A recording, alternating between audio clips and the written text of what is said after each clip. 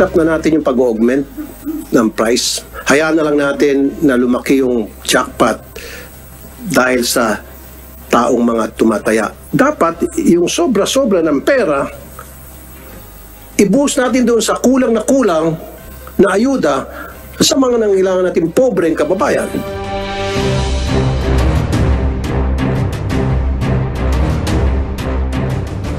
Dinagdagan ng 500 million pesos ang jackpot prize sa 649 Super Lotto noong Disyembre kung saan isang mananaya ang nanalo ng 614 million pesos. Paliwanag ni PCSO General Manager Mel Robles, partean niya ito ng kanilang marketing campaign para mas maraming tumaya at bilang bahagi umano ng pasasalamat sa mga mananaya. Kinuhaan niya ang pinangdagdag na premyo mula sa sobrang pera sa prize fund reserve. Pero giit ni Senator Tulfo, bakit hindi na lamang ito inilagay para sa charity?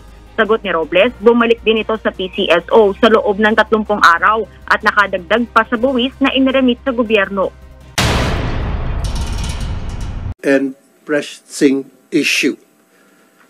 Issue that has been the main concern for a long time by many lotto players. And that issue pertains to the integrity of the game. Na ang tanong, talaga bang may nananalo sa loto? hindi ba naman pula yung laro?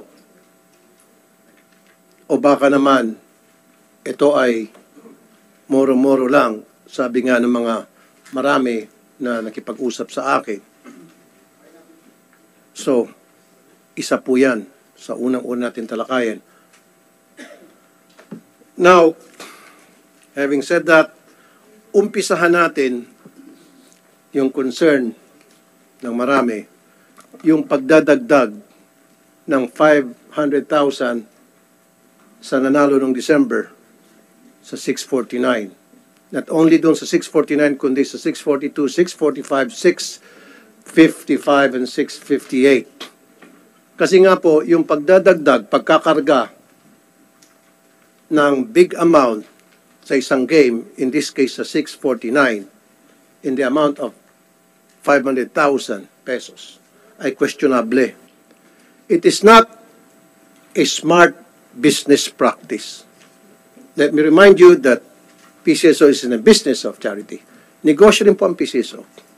Walang negosyo sa buong mundo na meron na nga silang kita at yung kita nila ay ibabalik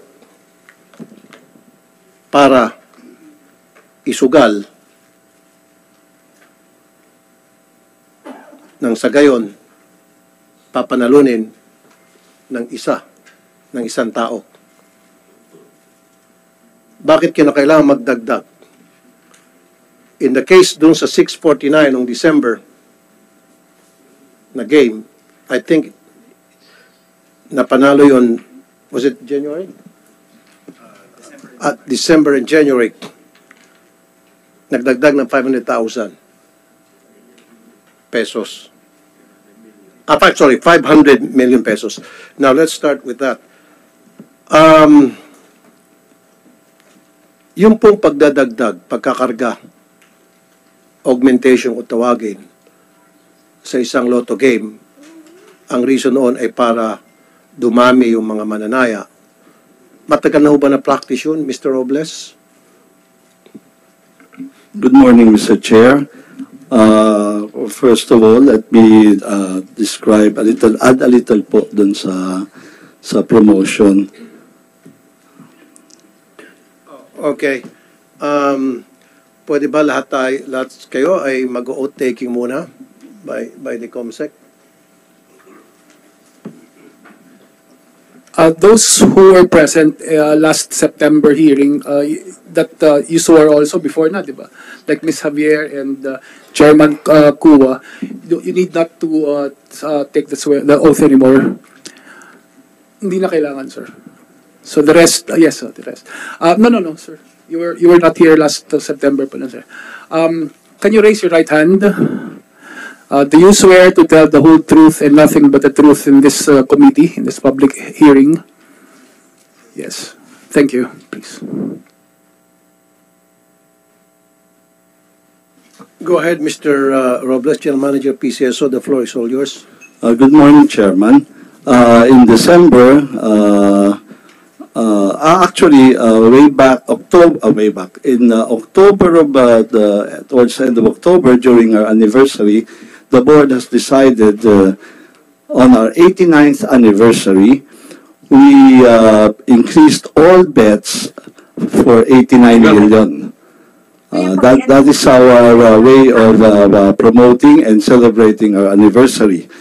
Uh, this was taken from the from the prize fund, Your Honor, and on this and which, uh, uh, as our records show, really increased our sales. And then, uh, encouraged by that, uh, for the December, knowing that we have a surplus fund for our uh, uh, prize fund reserve, the board has decided to create another promo, ang tawag po namin, Handog Pakabog. No? This is really a marketing uh, uh, a marketing uh, uh, campaign to encourage more and as a way of thanking the bettors to bet more and participate more para po pag-usapan yan at uh, na gayon to, ex- to excite the market. And I'm happy to inform you, Mr. Chairman, that for the last 30 days, bumalik na po yung ininvest namin doon and we made 800 million po in net. Not to mention the taxes po that it generated. Okay, you made 800 million pesos out of that promo and marketing strategy uh, na ginawa ninyo para to encourage the bettors, stimulate bettings. 800 million. Ang tanong ko po sa inyo, unang-una sa lahat, legal ho ba yon yung kayo po ay mag-augment ah, sa jackpot ng ah, mga lotto games ninyo coming from the prize fund. Like I said kanina, eh kita na po yun eh. Bakit natin ibabalik pa? At number two, sabi niyo meron kayong surplus. Eh di, wow, kung meron kayong surplus, gamitin na lang natin dun sa mga very important projects. Ibalik natin sa charity, ibigay natin sa mga ah, ospital, paggamot ng mga chemotherapy, kidney dialysis, so wheelchairs, ambulansya. Bakit natin ibabalik doon sa loto para pustahan at panalunan ng isa o dalawang tao? It's not it's a wise business practice. Do you agree? Kasi kung sa isang negosyo, hindi nila gagawin yun. Kasi kita mo na yun eh. Bakit mo ibabalik doon sa ah, jackpot? Uh, Mr. Chair, ang tawag po namin doon sa prize fund reserve, it is really meant, pag nagdidip kunyari, marami hong tinamaan, it was really meant po to be part of the prize fund. So as you know po, Mr. Senator, our uh, our revenues are already allo- appropriated by law. So talaga pong may paggagamitin yan. Ay kung hindi po namin na gagamitin yon at the end of the year, it will be reverted back to as dividends uh, and taxes at yung kalahati po nun pupunta din naman po sa charity. Yan po ang uh, mangyayari ron at the end of the year. But here we decided po to use it. So it, it uh, Mr. Chairman, it got the same uh, results and more. Kasi pati ang taxes po na naibigay sa gobyerno, mas malaki po dito in the span of 30 days ng promotion namin. So I think, Mr. Chairman, uh, by and large, it's a very successful uh, promo. Yan po ang, uh, ang, ang aming pong uh, pananaw doon because it, not only did we get the charity, but we generated more taxes po and may meron pa po kaming income from that. Okay. Bago ho kayo nag-decide ng board ng 89th anniversary nyo na mag-augment sa jackpot sa lahat ng games, ng lotto games, sa jackpot coming from the prize fund, did you do a thorough study para makita kung talagang dapat gawin yon meaning yung pag pag-augment nyo ng ah, 500,000 halimbawa sa isang game would that generate more revenue para sa PCSO in terms of taxes which nabanggit mo? Would that 500,000 maibabalik yung inilagay nyo, maibabalik doon sa prize fund? Nag-invest ka kasi ng 500,000, right? So when you invest something, dapat in, ina-assume mo na pag-aralan mo o na-anticipate mo na na yung 500,000 ibabalik. Kasi lalagay ka ng 500,000 sa 640 na halimbawa na games, i-augment mo, eh kung ang babalik lang dyan ay 10% o 15% o 20% o 50% pa, huwag na. Dapat kung nag-invest ka dyan ng 500,000 augmentation doon sa isang jackpot sa 649, dapat ang balik niyan, hindi ng 500,000 or more pa dapat. Ganun dapat ang mga ginawa niyo study. Kasi kung hindi, huwag niyo sana ginawa yon. Uh, Mr. Chair, meron po kami pag-aaral dyan, but the rule of thumb po in uh, lottery, ito po ay jackpot-driven. Uh, the more the jackpot is, the more they will come. Yan po ang basic. I understand. Pero dapat ang jackpot is progressive. In all other countries in the world,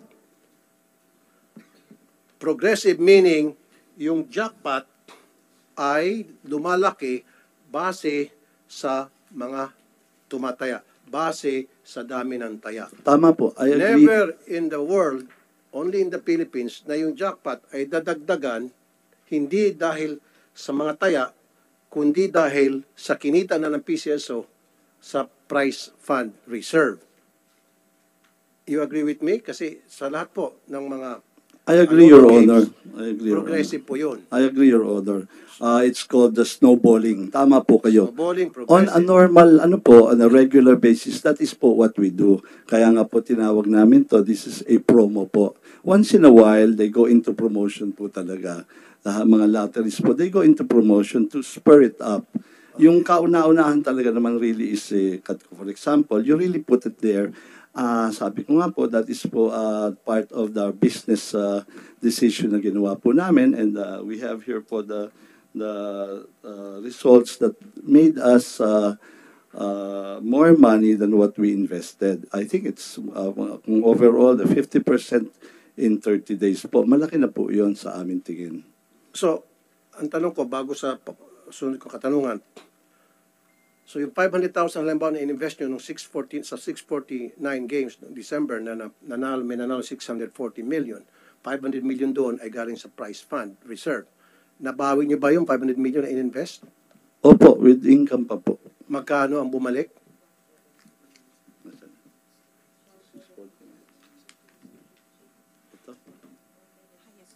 Okay, para mapabilis tayo, six- 640 million yung price. So, ibig sabihin, 140 million lang ang na-generate mula sa mga mananaya. Simple mathematics to. Because the 500 million came from the price fund reserve na. Okay. Mr. Chairman, if I may. Yes. Uh, we added 472,750,000 We will, you, you, you said sa previous hearing, 500 million. Hindi po. Ah, 500. Ah, well, it's rounded off kasi yung yung pot po binuo as 500 Okay, sige. 500. Magkano po So hindi po yun yung exact dahil dati na pong meron yun eh. Okay. So we we rounded it off para po madali So, naman. magkano mata- pong inad? Ah, we ended 472 million 472. 750 798. Ang na-generate pong sales niyan is 675 million 122,860 with a an income of 202 million. Teka muna, ah, so bago kayo nag-augment ng 470 million doon sa jackpot ng 649, how much was the jackpot price prior to adding 470 million? 28, yung normal po dyan would be 28 uh, million po. Hindi. Di ba nag-add po kayo ng 472? Opo. Bago niyo po dinagdagan ng 472, magkano po yung jackpot price? Ito yung una. Uh, 28 million po, 249,201. So 28 million. Opo. Okay.